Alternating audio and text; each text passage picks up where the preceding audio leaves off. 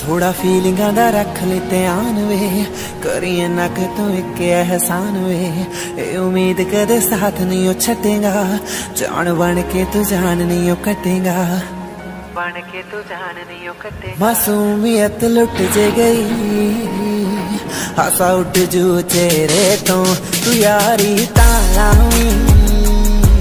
ਜੇ ਨਹੀਂ ਬੂਗੀ ਤੇਰੇ ਤੋਂ ਸਾਂਭ ਵੀ ਨਹੀਂ ਹੋਣਾ। ਦਿਲ ਟੁੱਟਿਆ ਮੇਰੇ ਤੋਂ। ਤੂੰ ਯਾਰੀ ਤਾਂ ਲਾਵੀਂ ਜੇ ਨਹੀਂ ਤੇਰੇ ਤੋਂ।